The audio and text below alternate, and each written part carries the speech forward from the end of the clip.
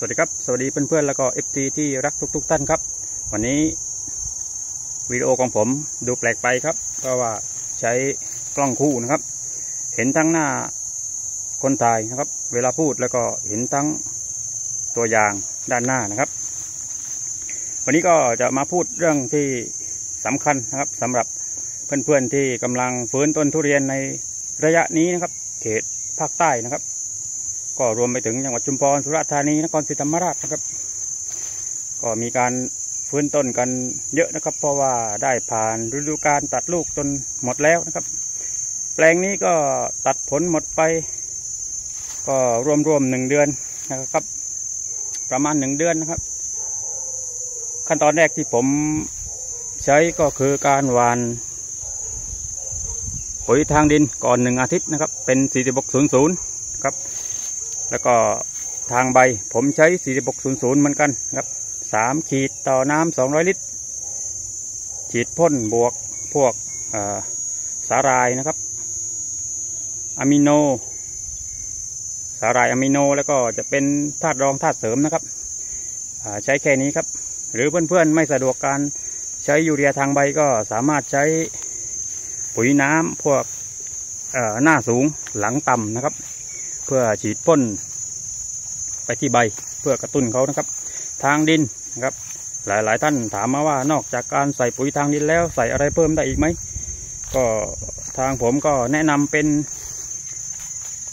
ฮิวมิกฮิวมิกได้ทั้งเมล็ดแล้วก็ผงนะครับฮิวมิกฟูวิกนะครับฮิวมิกกับฟูวิกก็จะเป็นตัวกระตุ้นรากใหม่ได้ดีครับช่วยกระตุ้นการแตกยอดใหม่ครับ แล้วแตกยอดแล้ว ผมทำไงต่อนะครับ ถึงจะเก็บยอดอยู่ แต่ช่วงนี้จังหวัดชุมพรนะครับ ก็ยอดค่อนข้างที่จะไม่ค่อยมีแมลงรบกวน แต่ก็มีเหมือนกันนะครับ เป็นเพลี้ยจักจั่นฝอยโดนกันเยอะนะครับยาที่ผมใช้ช่วงหางปลานะครับ เมื่อผมสังเกตเห็นยอดเป็นหางปลา ผมก็ใช้ไทมีท็อกแซมนะครับ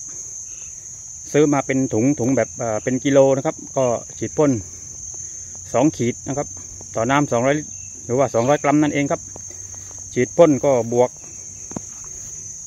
ช่วงหลังผมจะไม่ใช้ปุ๋ยแล้วนะครับ ผมจะบวกพวกสาหร่าย แล้วก็อะมิโน แล้วก็ธาตุรองธาตุเสริมนะครับ ชุดสามตัวนี้นะครับอย่าให้ขาดนะครับ ช่วงฟื้นต้นนะครับ ก็ฉีดพ่นไปหนึ่งรอบนะครับ เมื่อครบสิบวันนะครับ ผมชักไม่ค่อยมั่นใจกับไทยมีท็อกแซมนะครับ ก็เริ่มหวั่นใจนะครับกลัวเพลี้ยจักรจันจะเข้ามาซ้ำนะครับ ช่วงใบเพตลาดแบบนี้นะครับถ้าใบเพตลาดแบบนี้เราคุมเพลี้ยจักจั่นฝอยไม่อยู่นะครับ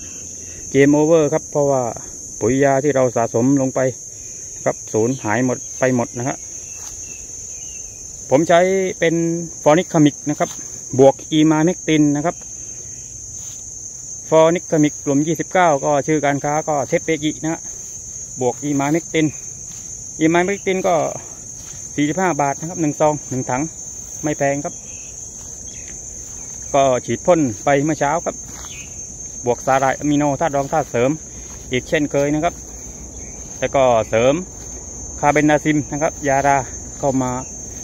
ช่วยช่วงที่นะครับเป็นใบดาบแล้วก็เริ่มที่จะเป็นเพสลาดบางกิ่งบางต้นนะครับ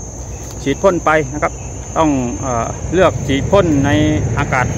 ช่วงอากาศที่ดีนะครับ ตอนเช้านะครับ ขออภัยนะครับเสียงรถไฟนะครับ ก็ฉีดพ่นในช่วงเช้าหรือช่วงเย็นก็ได้นะครับ แต่ถ้าพวกใส่อาหารเข้าไปก็แนะนำให้ฉีดพ่นช่วงเช้านะครับ เพราะว่าพืชเขาสามารถนำไปปรุงอาหารได้เลยนะครับ ก่อนพ่นยานะครับ ถ้าสภาพดิน นะครับ แห้งแล้งแล้งไม่มีความชื้น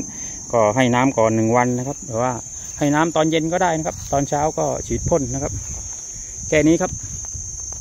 ทำไมผมถึงเลือกใช้ฟอนิคามิกนะครับ เพราะว่าฟอนิคามิก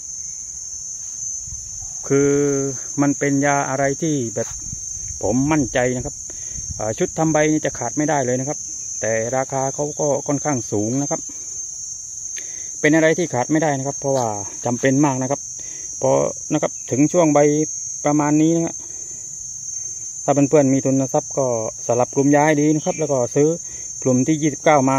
ฟอนิคมิกฉีดพ่นนะครับ คุ้มได้จนถึงใบแก่เลยนะครับ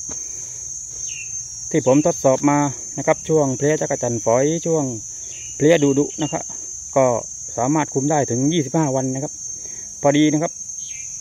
ใบคลี่แล้วก็กลางออกหมดเป็นเพสลาดนะครับ ที่เราใช้มือสัมผัสแล้วไม่หนืดนะฮะลื่น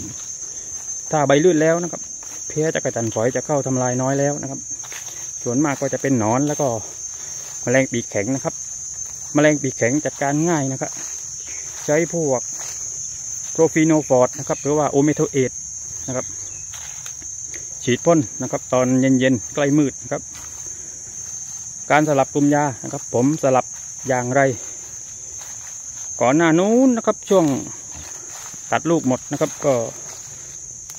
ใช้ตัวล้างต้นนะครับ เป็นโอเมโทเอตโมเดิร์น50นะครับ แล้วก็ใช้ยาราคือคอปเปอร์ออกซีคลอไรด์นะครับ ฉีดพ่นทั้งในทั้งนอกนะครับ ล้างต้นนะครับ ฉีดไปสองรอบนะครับโอเมโทเอต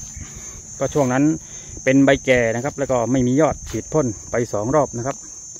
หลังจากนั้นก็ยี่สิบวันนะครับ ยอดเริ่มเดินครับ ก็ให้น้ำไปสองรอบ ยอดเริ่มเดิน ก็เริ่มเปลี่ยนมาใช้ไทมีท็อกแซมสองรอบครับ รอบแรกก็ใช้ไปหนึ่งขีดนะครับหนึ่งร้อยกรัมต่อน้ำสองลิตรรอบสองก็ พิ่มปริมาณสองร้อยกรัมนะครับ เพราะผมเริ่มไม่ค่อยแน่ใจนะครับ ฉีดพ่นไปนะครับ รอบตัวนี้ก็คือรอบแทงยอดนะครับ ก็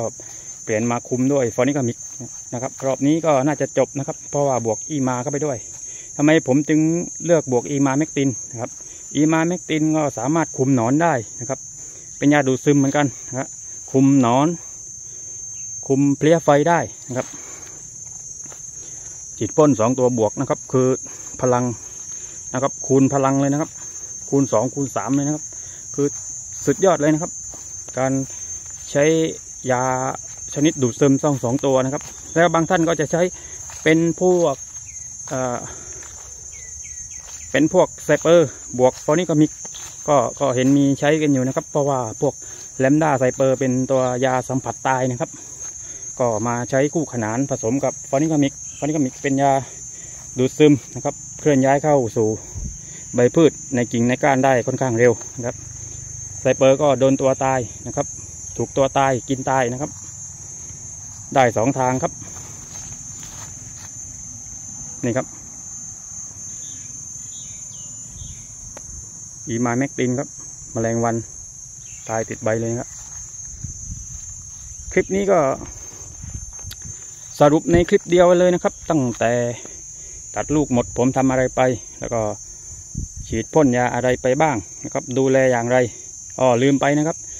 หลังตัดลูกเสร็จก็ทำการตัดเชือกตัดกิ่งนะครับ แต่งกิ่งก้านออกนะครับ ให้โล่ง